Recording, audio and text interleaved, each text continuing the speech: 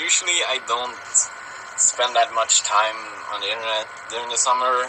I usually take a break from all electronics or whatever, just because the internet here is so slow, so I don't really bother with it.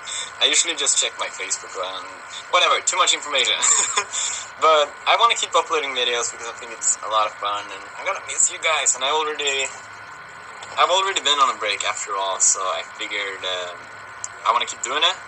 But it's not gonna be like a daily thing, which I want it to be. But the reason why is because I don't really have time for that anymore. I I got a job as support captain, uh, so you can call me Captain Pewdie.